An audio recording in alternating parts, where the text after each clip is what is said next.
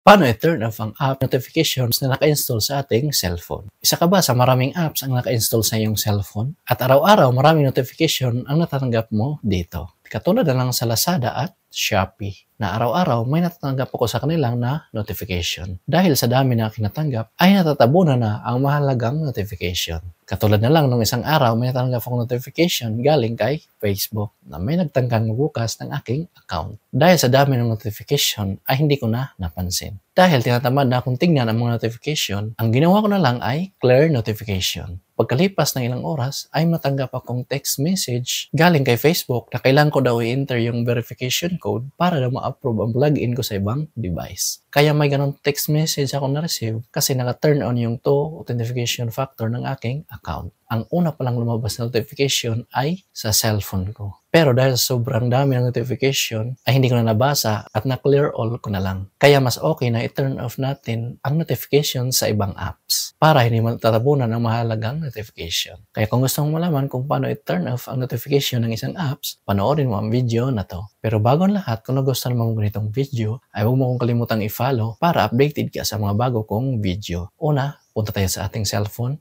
Ayan, so kung nasa cellphone na tayo, hanapin lang natin yung apps na gusto nating tanggalan ng notification or i-turn off yung notification. So, halimbawa itong Shopee. So, ang gagawin lang natin ay i-long press. Then, pinutin itong eye icon. Ayan, then dito makikita sa privacy, under, under ng notification, ang naka-on dito ay allowed. Ang gagawin nyo lang is pindutin notifications. Ang nakalagay dito ay show notification. So, ito turn off lang natin. Ayan, so naka-turn off na siya. Then, halimbawa, ibang notification naman sa ibang apps yung ito turn off natin.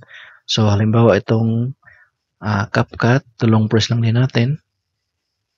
Then, pinuntin itong eye icon. Then, uh, pindutin ulit itong notifications. Then, i-turn off natin itong show notifications. Yan, back lang natin uli.